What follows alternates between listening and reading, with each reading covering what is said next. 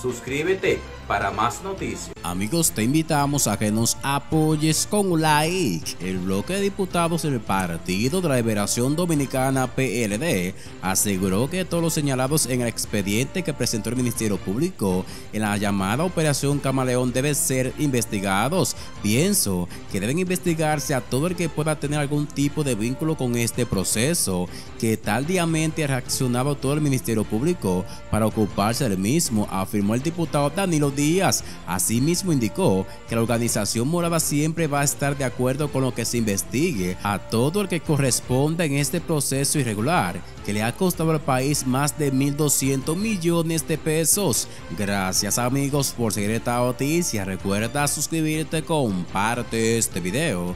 Nos veremos en una próxima noticia. Muchas gracias amigos.